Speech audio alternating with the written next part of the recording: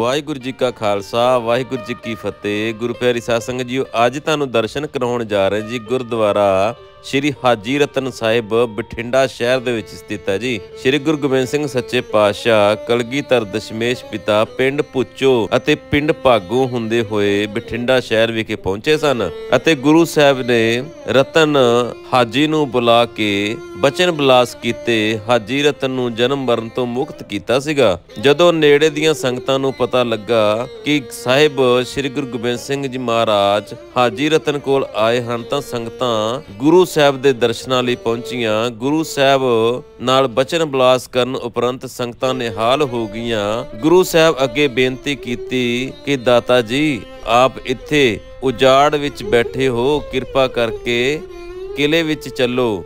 ਸੰਗਤਾਂ ਦੀ ਬੇਨਤੀ ਪ੍ਰਵਾਨ ਕਰਦੇ ਹੋਏ ਇੱਥੋਂ ਗੁਰੂ ਸਾਹਿਬ ਜੀ ਕਿਲਾ ਮੁਬਾਰਕ ਵਿੱਚ ਚਰਨ ਪਾਏ ਸਨ, ਜਿੰਦੇ ਆਪ ਜੀ ਦੇ ਕੁਝ ਦਿਨ ਪਹਿਲਾਂ ਸੰਗਤਾਂ ਨੂੰ ਦਰਸ਼ਨ ਕਰਵਾਏ ਹਨ। ਗੁਰਦੁਆਰਾ ਕਿਲਾ ਮੁਬਾਰਕ ਸਾਹਿਬ ਕਿਲੇ ਵਿੱਚ ਆ ਕੇ ਗੁਰੂ ਜੀ ਨੇ ਪੁੱਛਿਆ ਕਿ ਤੁਹਾਨੂੰ ਕੋਈ ਦੁੱਖ ਤਕਲੀਫ ਤਾਂ ਨਹੀਂ? ਸੰਗਤਾਂ ਨੇ ਗੁਰੂ ਸਾਹਿਬ ਅੱਗੇ ਬੇਨਤੀ ਕੀਤੀ ਕਿ ਸੱਚੇ ਪਾਤਸ਼ਾਹ, ਜੀ ਹਾਂ, ਅਸੀਂ ਬਹੁਤ ਹੀ ਦੁਖੀ ਹਾਂ। ਇਸ ਕਿਲੇ ਵਿੱਚ ਇੱਕ ਦਿਉ ਰਹਿੰਦਾ ਹੈ, ਜੋ ਲੋਕਾਂ ਦੇ ਕੱਚੇ ਪੱਕੇ ਮਕਾਨਾਂ ਨੂੰ ਢਾ ਦਿੰਦਾ ਹੈ। ਕਿਰਪਾ ਕਰਕੇ ਦਿਉ ਤੋਂ ਛੁਟਕਾਰਾ ਦਿਵਾਓ। ਗੁਰੂ ਸਾਹਿਬ ਜੀ ਨੇ ਕਾਣੇ ਦਿਉ ਨੂੰ ਬੁਲਾ ਕੇ ਪੁੱਛਿਆ, ਤੂੰ ਇਹਨਾਂ ਲੋਕਾਂ ਨੂੰ ਤੰਗ ਕਿਉਂ ਕਰਦਾ ਹੈ? ਤਾਂ ਕਾਣੇ ਦਿਉ ਨੇ ਗੁਰੂ ਸਾਹਿਬ ਅੱਗੇ ਬੇਨਤੀ ਕੀਤੀ ਕਿ ਮਹਾਰਾਜ, ਮੈਂ ਕਾਫੀ ਸਮੇਂ ਤੋਂ ਭੁੱਖਾ ਰਹਿੰਦਾ ਹਾਂ।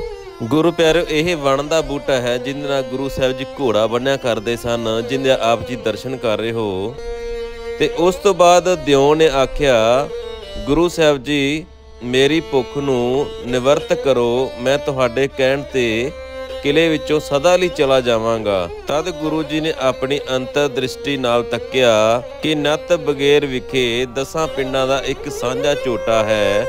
ਉਸ ਤੋਂ ਵੀ ਲੋਕ ਬਹੁਤ ਦੁਖੀ ਸਨ ਉਸ ਝੋਟੇ ਦਾ ਉਦਾਰ ਕਰਨ ਲਈ ਗੁਰੂ ਜੀ ਨੇ ਕੁਝ ਸਿੰਘਾਂ ਨੂੰ ਝੋਟਾ ਲੈਣ ਲਈ ਭੇਜਿਆ। ਜਦ ਸਿੰਘ ਪਿੰਡ ਨੱਤ ਬਗੇਰ ਪਹੁੰਚੇ ਤਾਂ ਲੋਕਾਂ ਤੋਂ ਝੋਟੇ ਬਾਰੇ ਪੁੱਛਿਆ ਤਾਂ ਲੋਕਾਂ ਨੇ ਵੀ ਮਜ਼ਾਕ ਵਿੱਚ ਕਿਹਾ ਕਿ ਸਾਹਮਣੇ ਟੋਬੇ ਵਿੱਚ ਬੈਠਾ ਹੈ। ਗਏ ਹੋਏ ਸਿੰਘਾਂ ਵਿੱਚੋਂ ਭਾਈ ਮਿਲਾਗਰ ਸਿੰਘ ਨੇ ਉੱਚੀ ਆਵਾਜ਼ ਲਗਾਈ ਤੇ ਕਿਹਾ, ਚੱਲ ਬਈ, ਤੈਨੂੰ ਗੁਰੂ ਸਾਹਿਬ ਨੇ ਬੁਲਾਇਆ ਹੈ।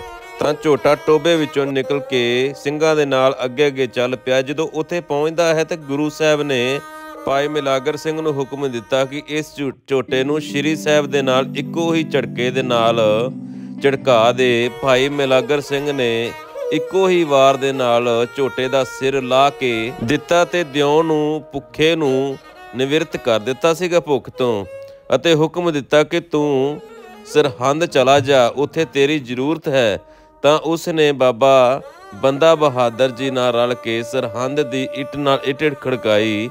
ਉਸ ਤੋਂ ਉਪਰੰਤ ਸੰਗਤਾਂ ਨੇ ਬੇਨਤੀ ਕੀਤੀ ਕਿ ਮਹਾਰਾਜ, ਸਾਡੇ ਮਾਲਵੇ ਦੇ ਵਿੱਚ ਕਾਲ ਬਹੁਤ ਪੈਂਦੇ ਹਨ, ਤਾਂ ਗੁਰੂ ਸਾਹਿਬ ਨੇ ਕਿਹਾ ਕਿ ਕਾਲ ਨੂੰ ਦੱਖਣ ਦੇਸ਼ ਵੱਲ ਲੈ ਜਾਵਾਂਗੇ।